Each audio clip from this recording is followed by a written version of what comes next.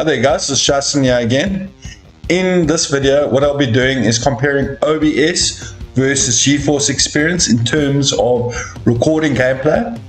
And what you're going to see is with GeForce Experience, you actually lose less FPS. So that is a bonus. But on the flip side, when you just play, when you're just doing straight gameplay, you're actually going to be losing more FPS just in straight gameplay if you've got GeForce Experience installed in the background. And I'll show you why. I think it's pretty obvious.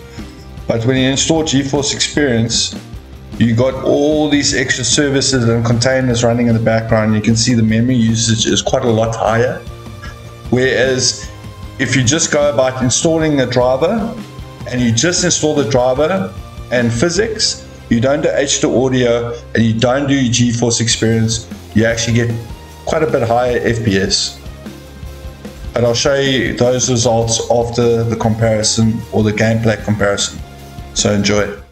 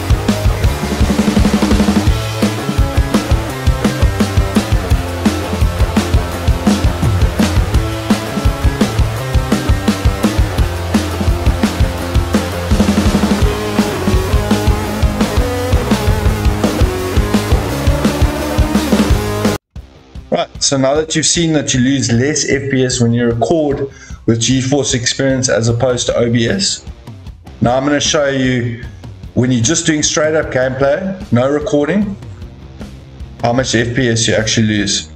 So look, it's been a long day, only benchmark five games, but this is uh, the latest driver installed with GeForce Experience and this is the latest driver. We just do a clean fresh install of only the driver and PhysX. So Assassin's Creed Odyssey the same results uh, with GeForce experience and without Spider-Man Remastered there's a quite a big difference. With GeForce experience installed my benchmark uh, on medium settings yielded 80 FPS Whereas with our GeForce Experience installed, I'm getting 89 FPS on medium settings. Days Gone with GeForce Experience 65 FPS, with our GeForce Experience 67 FPS. God of War 65 FPS with GeForce Experience, with our GeForce Experience 67 FPS. And then finally, for control, uh, whether you have GeForce Experience or not, it's the same result. And what you find over the five games that I've benchmarked, if you don't have GeForce Experience installed, you actually average two FPS higher per game. So it's a, it's a bit of a, a, a bit of a toss up. So if you want to record gameplay, go ahead and use GeForce Experience. But if you want to achieve the highest frames that you can when you're just playing normal gameplay, I recommend just installing a straight driver, no GeForce Experience. Anyways, guys, thank you so much for watching. Um, if you enjoyed this video, please be, uh, be sure to smash that like button. If you haven't subscribed to the channel just yet, please be so kind as to hit that subscribe button. But most importantly, guys, enjoy the rest of your day and always know that there's people like you that make a difference. Cheers.